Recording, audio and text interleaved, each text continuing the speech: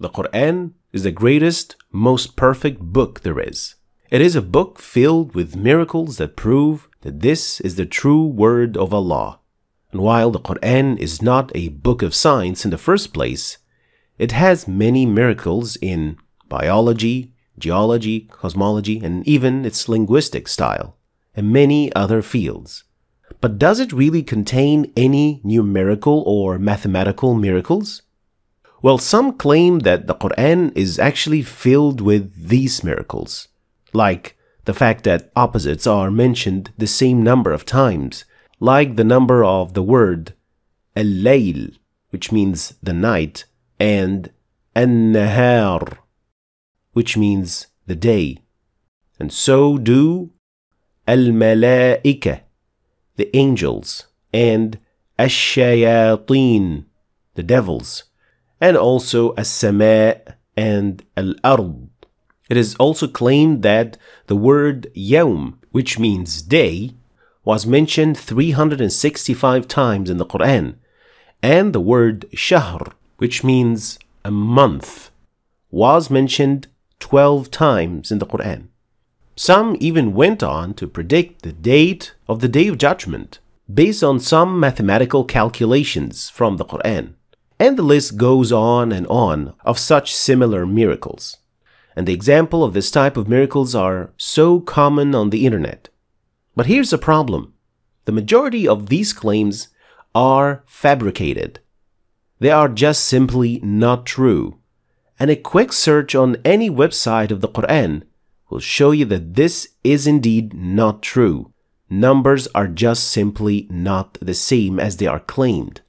But even if someone argued that the word yawm, as an example, is indeed mentioned 365 times in the Quran, regardless if this is true or not, does this really make the Quran miraculous? And one more thing why would the Quran be concerned with mentioning the number of days according to the solar or Gregorian calendar rather than the Islamic calendar, which is 355 days?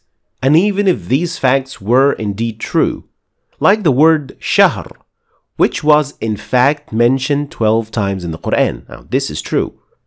Considering this as a miracle of the Quran, and that it is a proof of the truthfulness of the Quran, puts you in kind of a problem.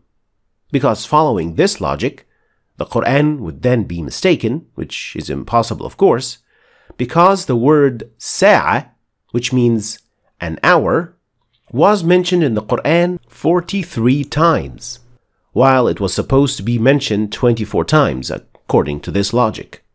And let us consider the fact that anyone, and I mean anyone, can write a book, and in it they can simply mention the word shahr 12 times, and the word sa' exactly 24 times, and so on.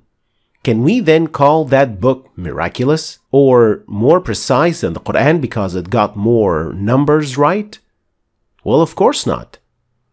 So, what's our takeaway from this? Well, first, if it is not true, it is a fabrication against the Book of Allah. So, we should be very careful not to be tools in spreading such misinformation. And second, if these facts are indeed true, which they might be, we should still distinguish between the subtleties and the miracles of the Quran. Subtleties are these little details that are interesting and actually quite nice to know, but they are not and should not be used as a way to prove the truthfulness of the book. And at the same time, we should never undermine or belittle this type of information if they are indeed true we should always try and learn more about the Book of Allah, since there is wisdom behind every letter found in it. A miracle, on the other hand, is something that a human being can never produce or know, and it only happens or is revealed by Allah the Almighty. And there are so many examples about the miracles that are found in the Quran, in embryology, history, geology, cosmology, and the list goes on and on, all of which could have never been guessed or known by a human being 1400 years ago. So, writing a book which contains a specific number of certain words is something that anyone can do and should not be called a miracle or be used as a proof of the truthfulness of the book, because this will have more of negative effects than any benefits. And if you want to find out more about the different confirmed miracles of the Quran, then you can check out this book, which is free to download from our website. You can find the link in the description.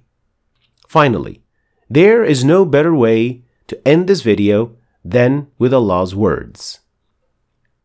سنريهم آياتنا في الآفاق وفي أنفسهم حتى يتبين لهم أنه الحق. Thanks for watching. I hope you've learned something new today. If you did, please like and share the video for other people to learn from it. And don't forget to subscribe to our channel if you want to see more videos like this. Thanks for watching and I'll see you next time.